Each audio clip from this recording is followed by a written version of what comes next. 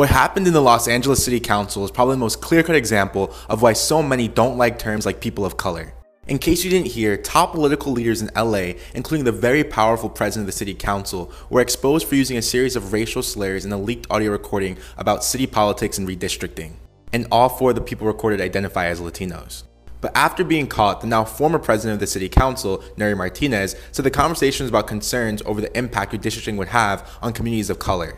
But that's not true, and to help us understand why, we need to employ a very, very important tool for conversations like this called disaggregation. Disaggregation is when you break down a large group into more specific categories to examine them more closely. Like Martinez said she was trying to help communities of color, but if we disaggregate that into ethnic groups like Latinos and Black Americans, we see the truth. The truth is that her and her allies were trying to consolidate Latino political power, which might have not been an issue if not for their strategy of doing it by unfairly diluting black voting power and working off of a problematic zero sum mindset between the two groups. This is best portrayed by her infamous quote about another politician saying, F him, he's with the blacks.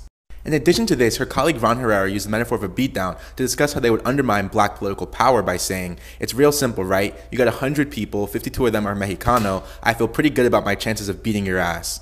And as a quick aside, we know that Ron Herrera was the former president of the LA Federation of Labor, and we know that employers in LA have had their own issues with systemic anti-blackness. So his role would have been to go into these situations and build cross-racial coalitions and not role model this anti-blackness himself.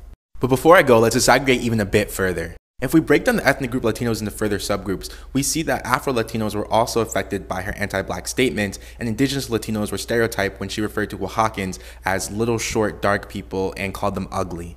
Unfortunately, in many instances, using terms that flatten racial and ethnic groups covers up things like anti-blackness, anti-indigeneity, and other forms of systemic discrimination that create disparities in our lived experiences.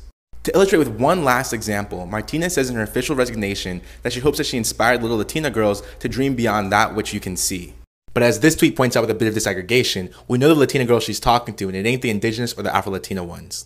If you learned something new, comment your thoughts, share this video, and follow for more.